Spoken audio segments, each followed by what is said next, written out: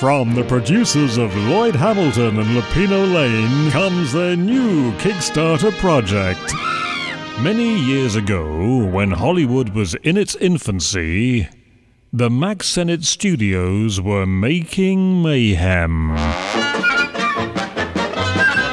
Hello, I'm Dave Glass, and I love silent comedy, especially stuff like this. Because these were the incredible visual eyeball ticklers that pulled me in when I was a little kid. Uh, and one of the faces of the 1920s comedies was Billy Bevan. Billy Bevan. No, Billy Bevan. Who's Billy Bevan? This is Billy Bevan. Through the 20s, Bevan was the busiest of the busy Sennett comedians. Great. These are the types of scenes that I gobbled up in my youth. And the common denominator in all of these clips appeared to be Billy. I kept seeing him all the time, and it, it seemed to be his films that were featured on the various TV shows that I grew up with, and I'm sure you did as well.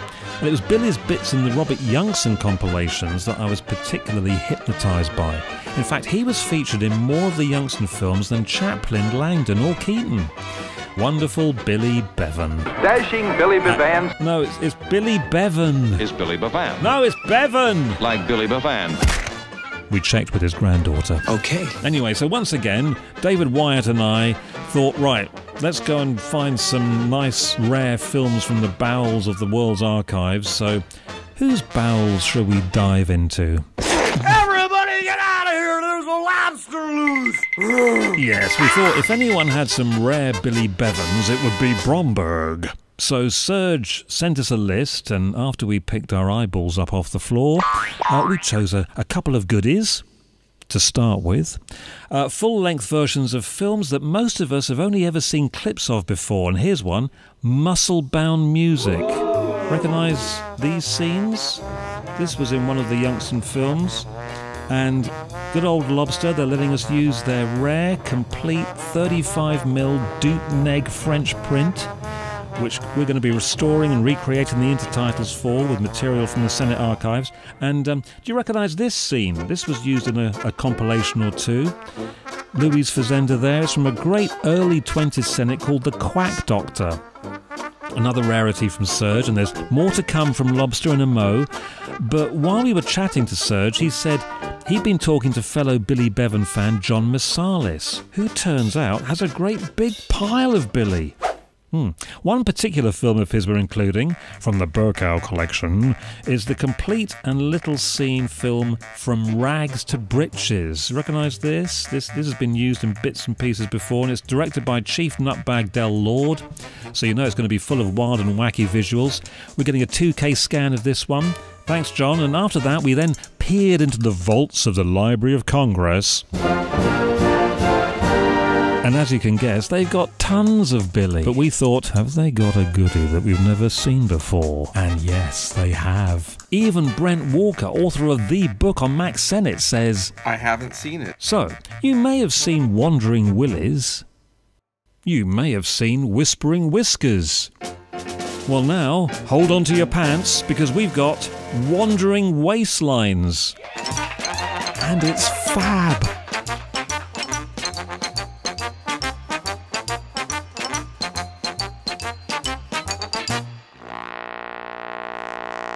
Okay, so we also thought it would be good to have a couple of examples of pre Sennett Billy Bevans, just to sort of like give an example of what he was doing before he joined them. And again, from the Library of Congress, we've found the jolly rare LKO comedy called Bombs and Bandits. Billy plays the police chief. It's great. And another pre Sennett short uh, is coming to us with the courtesy of the lovely people at the Film Museum in Amsterdam. They're lending us Somebody's Widow, which is a beautiful Billie Rhodes comedy which co stars Mr. Bevan.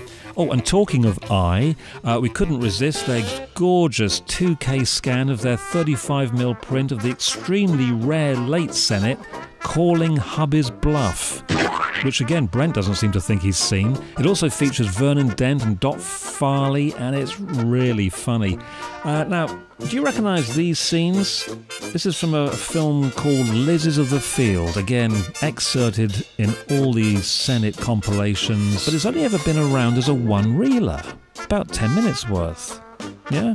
Well, I'd heard a rumour that the Eye Film Museum had the two reel version hiding under Elif's desk. Is that right, Alif? Yes. Woohoo! Yeah, and after I told this to that French bloke Bromberg, he said, Le woohoo! Too. In fact, he got so excited, he's going to do a new scan of the iron nitrate print material and then combine it with his sparkling Blackhawk material to create the ultimate lobster restored complete version of Lizzies of the Field for us to use. Ta-da! Fantastic. Ah, right. Anything else? Oh, yeah, there is. Serge and Eric are also going to be doing a special lobster restoration of Nip and Tuck. Do you recognise these scenes? Yeah, cameo, Harry Gribbon. And they've got a 35mm safety fine grain from the camera negative from the Youngson collection, hmm which was scanned in 5K over in Burbank in Feb this year.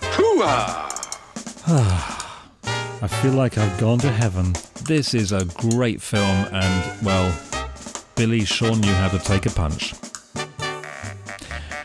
Right, I think I need to have a lie down now. You can't do that, Um, Dave. There's more. More? Oh, a little bit more, yes. We've got a few succulent extras up our sleeves, too. My YouTube channel that I've been running for a while now, Reel Comedies, there's one particular video I uploaded there which has had more views than all of the other videos on my channel combined.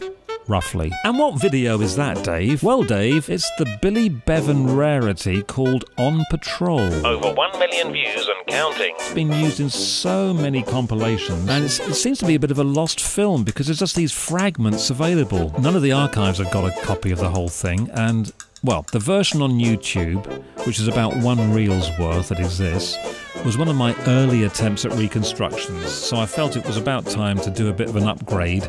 So here's an example. This, this is a before and after of the same scene, so we'll include the newly scanned and improved bits on this disc too, as well as the uh, the reconstruction that I also uploaded of the lost Wall Street Blues using newly scanned footage, which again includes some of the most iconic scenes produced by the Mack Sennett Fun Factory. I mean, look at this; these are classic images. And if we can find room, we'll also include fragments of some of the other lost Billy Bevan films with iconic footage, like this, and this, and maybe this. So, as you probably guessed, Brent Walker's involved, and he's going to be doing the booklet notes for us. Thanks, Brent. We're also planning to have music by Meg Morley, Donald Mackenzie, Jon Mirsalis, and Ethan Uslan. Mm. And we hope you'll agree this is going to be a Mack Sennett extravaganza you won't want to miss. Over three hours on a Blu ray of archive rarities. The Billy Bevan Blu ray. Wow. So don't doze. Don't let it slip away. Don't hang around. And don't spend too long thinking about this. Please help us to kickstart this appeal. And hopefully it'll be a hit. Mmm, pledge today for the Billy Bevan Blu ray. Is Billy Bevan. No, it's Bevan! I think you get the point.